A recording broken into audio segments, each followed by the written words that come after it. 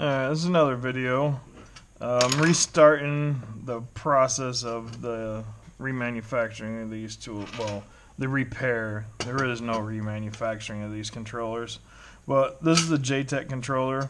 I'm going to start from beginning to end on this one so you guys can see the whole process of the actual repairs also and how to test. Uh, first, obviously, you remove the cover. Four screws in the top um, very common for these screws to break like this. Nothing to worry about. Basically, all these screws do is hold the plate to the front of this. Because obviously, when you bolt it to the vehicle, the bolts go right through the front cover also. So that's what you want to do first. Remove the plate. If you're doing multiple units, uh, good idea to, whatever the part number is, to engrave it into the side so you don't mess up or if you use software like mine, it tells you what the part number is when you plug it in anyways. So, there we go. Remove the cover. What you want to do is clean it. Um, if you're going to be doing a lot of these at the same time, no, it sounds crazy, but when I was doing multiple units, we actually had dishwasher. Put them in there, and and it cleaned them very well and uh, that's why you can get all the oil off in that because the next process obviously is putting it in. You got to heat it up to actually get this board out of this unit itself. And that's where the tough part comes in. First thing you want to do I always use an X-Acto knife. Um, what you need to do is to separate this gel this outside gel from the aluminum casing as best you can.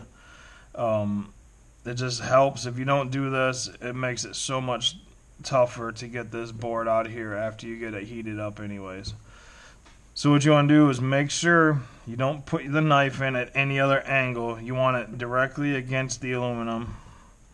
You want to go down all the way to where the, it stops and just cut and loosen this stuff up right from the side of the, the case.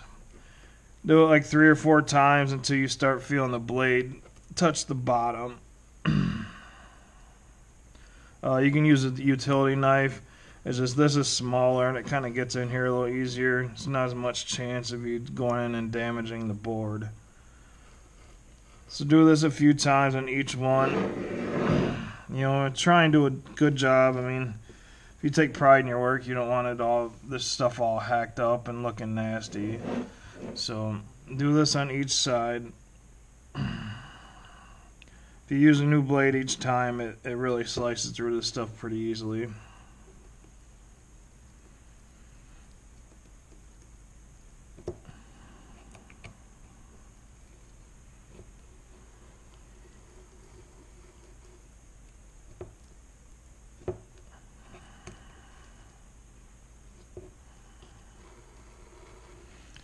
Like I said in the other videos, if you watched them, do not go and cut a big ass hole in the bottom of these boards. You're basically destroying the part, and it's never going to last again. So definitely do not do that. That is just a, a terrible idea. This case is made to be a heat sink. That's why they built it this way. and I'll show you once we get it open the common part on this that heats up is the memory and that block right there rests directly on top of the memory. So obviously that's what this whole case does. It turns it to a heat sink to keep that part cooled down to where it doesn't fail. These blocks here go down and touch on the driver the injector drivers and that's what those are for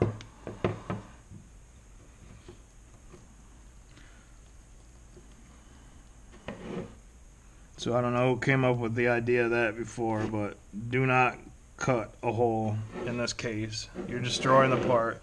You might make it work for a while, but it's not going to last. You're gonna that EEPROM's going to fail again.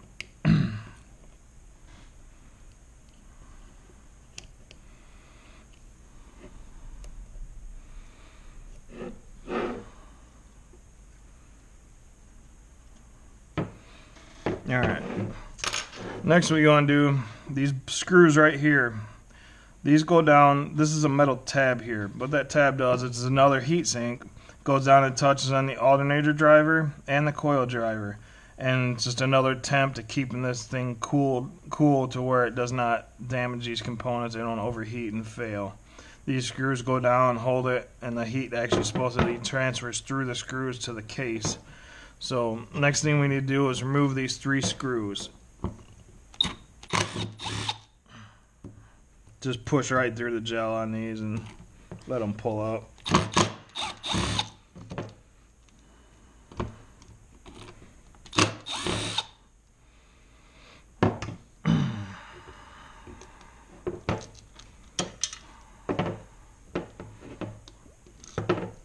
All right. So the next process, most important portion part of this, is in order to get this stuff to where it any way pliable. If you try and take it out now, you it's impossible. You're gonna destroy it, or you're just gonna break the plug up into pieces and, and destroy the part. So don't go in and try and dig this out. The, your friend is heat. You want to put this thing in an oven or convection oven obviously you want to do it outside. I don't do these for a living anymore, nothing for years now. So I'm to wrap this thing in aluminum foil and put it in the oven. Most important is wait for your wife to leave and then do it. And don't tell her you did it. So that's why the biggest thing you want to do is get this thing clean, get all the oil off of it. I mean, just scrub it, scrub it down, make sure there's no oil left on it. So that's most important. Like I say, I put a little bit of foil over it just to make sure there's no popping or anything. Another important thing, do not go above 250 degrees. You go above that, you're going to actually heat this up enough where you're going to start getting these components are going to desolder themselves. So it's just going to cause you more issues. So 250 degrees, I mean, the longer you leave it in there, the better it's going to be. It's going to come out so much easier. When you go to pull it out, it's not going to have all this stuff stuck to it still. So 250 degrees, think about, you know, 20 to 30 minutes. Get it good and heat soaked into it. Then you pull it out, and that's where we're going to go to the next step. So give me a few minutes here. I'm going to get this thing ready, and uh, I'll see you in a few minutes after we heat this up.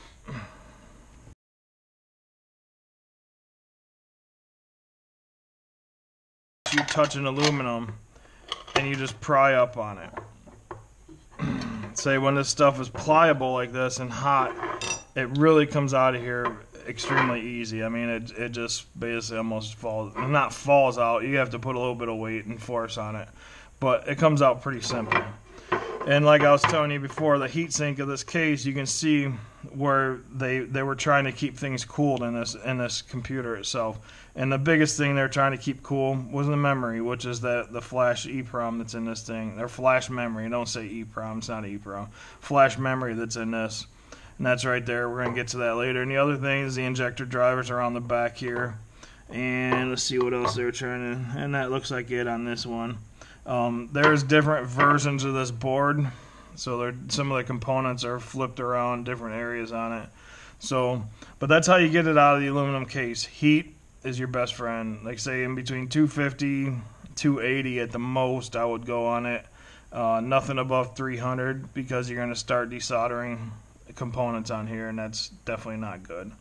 So that's this video, first one on how to get these goofy things out of these cases. The next one, we're going to cut this gel out and I'll show you a good way of getting it clean and how to get down to a clean surface to where you can actually work and repair uh, the failures on these. So thanks for watching and see you in the next video.